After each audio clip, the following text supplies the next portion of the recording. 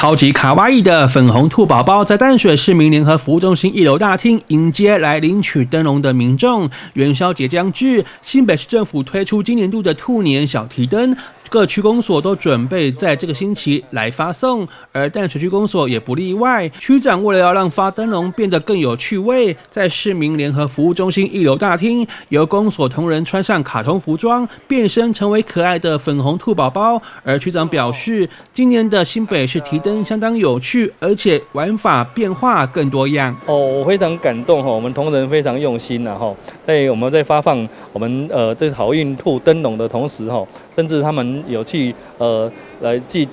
租借到这样那么可爱的我们的呃兔子的一个造型的呃服装哈，那希望说呃来呃。让这个气氛更有趣了哈，让孩子更喜欢哦。那这边呃再一次的也谢谢我们同仁的用心。区长表示，今年的新北市兔年小提灯有长长的耳朵、敏捷的动作，加上圆满的身形，象征温和的个性、与世无争、多子多孙，是兔子给人的印象。好运兔在设计时就是朝向圆满、亲和、趣味、实用的方向作为重点，而且还可以组合出四种不同的玩法。设计的呃很多款式的手提灯笼。哦，那主题是好运兔了哈，那好运的兔子啊，同时也是好好受孕的兔子。哦，所以各位可以看得到我们呃光手同仁非常呃用心把这个兔子的灯笼折出来哈，有可以有大兔子，有亲子在玩的兔子，有呃